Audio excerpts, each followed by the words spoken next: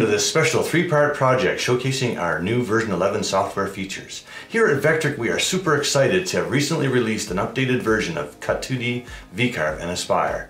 To help demonstrate the updates, new tools, and improvements, we have put together a set of three projects that work alone and can be stacked together to make an even more impressive conversation piece. This first project will highlight what's new in Cut2D Desktop and Pro, but remember that these features are included in VCarve Pro, Desktop, and Aspire 11.5. Over the last three years, we've all had our plans put on hold. We haven't been able to travel like we used to, meet up with others, and create new memories. Many of us have taken to reflecting on the past and dream of things going back to the normal. Here at Vectric, we've taken the time to reflect on the past achievements and how we have tried to inspire our community during these very challenging times. Unsurprisingly, the community also inspired us to keep moving forward. We are so excited for this release and this special three-part series.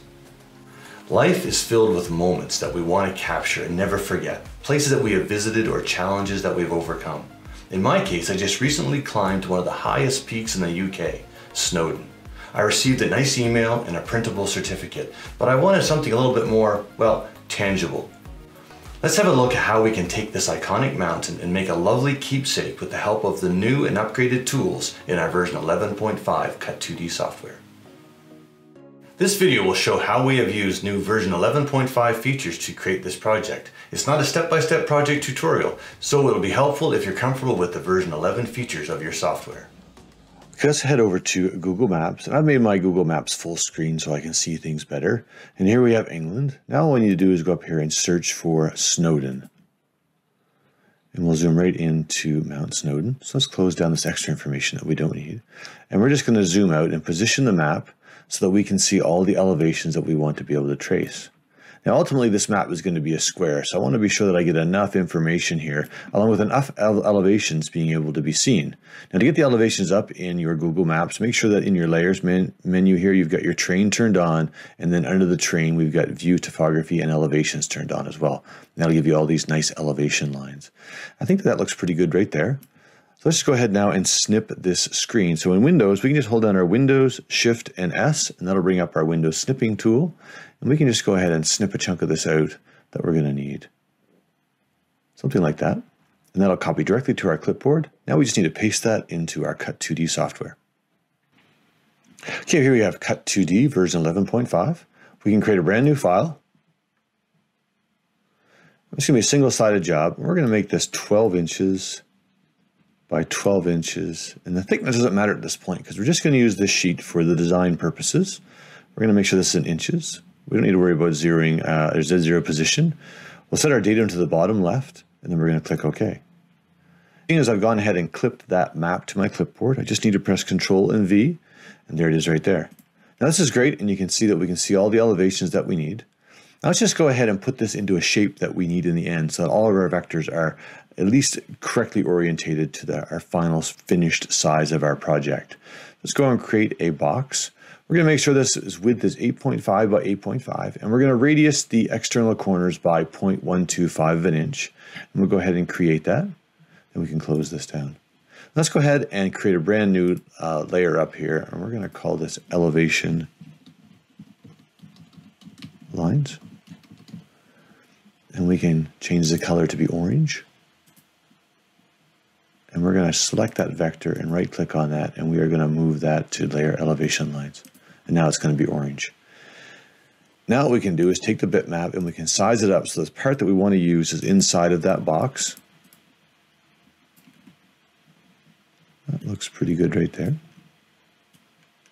Want most of that water there. We want the I want the peak of Snowdon. That's important.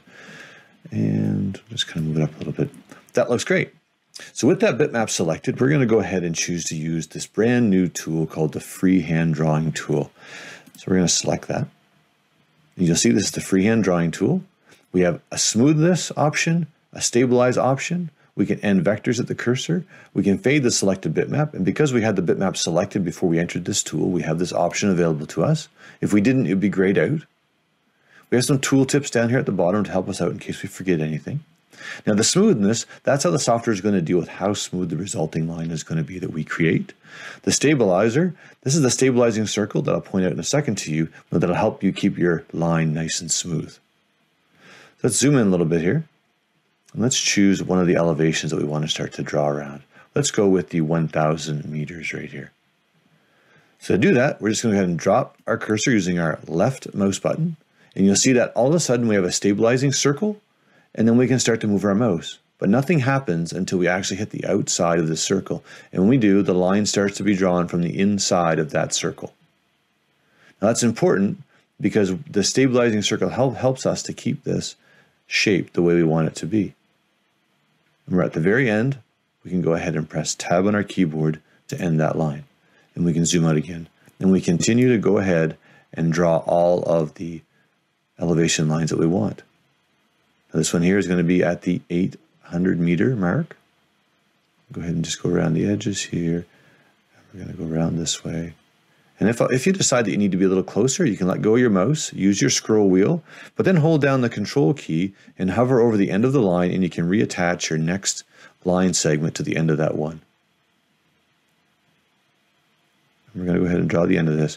Once we go outside the orange box, we're not going to worry about the line because we're going to clip all that off in the end.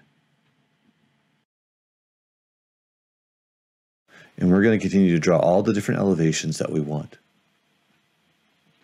Now here we are, we just need to finish off our last of our lines. Now top tip here is that you want to be sure that you're looking at the center of that circle while you draw, not where your crosshair is. It'll make it a bit easier for you. We'll press tab to finish that off. And that's great. Let's close this down. Now that we have all of our vectors that we need drawn with the freehand drawing tool to create the different levels, let's go ahead and open up the final file that you're going to get with this project. As you can see, the finished project file has been set up into sheets because we're using different materials to build up this project. Let's have a look at our layout map.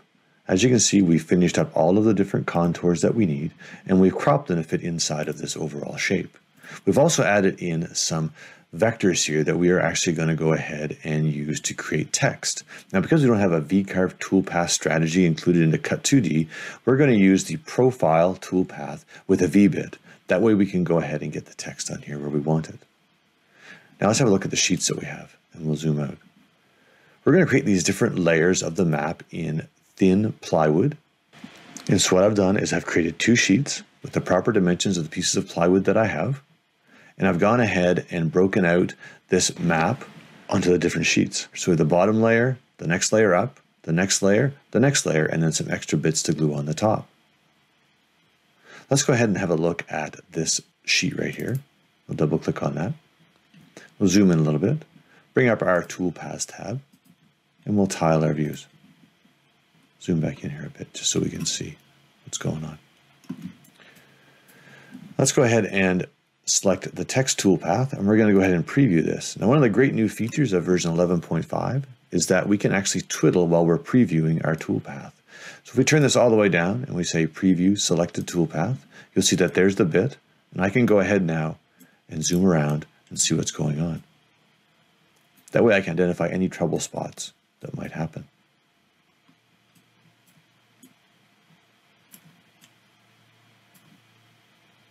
Speed that back up again. There we have it. Let's go ahead and take a look at this cutout toolpath. Again, we can take a look at that. We can zoom in all around it while it's doing its previewing. And again, we can see any trouble spots that might arise.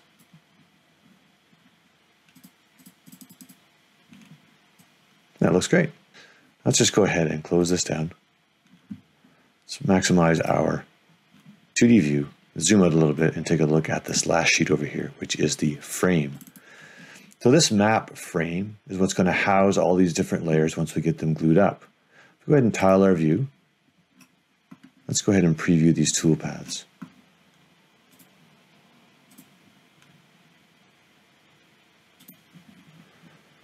So we're going to have in the end is a profile cut that's going to cut at the center of this with a very small shelf at the bottom of this so we can set our glued up map inside the frame. And then we have this decorative lip on the outside. Now we can leave it as is if this is as far as we're going to take this project, or what you can do is have a look at the the Explorer's frame that we're going to create in VCarve 11.5 so you can explore some of those brand new features that are going to be included in that. Let's head over to the labs now and see how this adventure map cut and how we decided to finish it.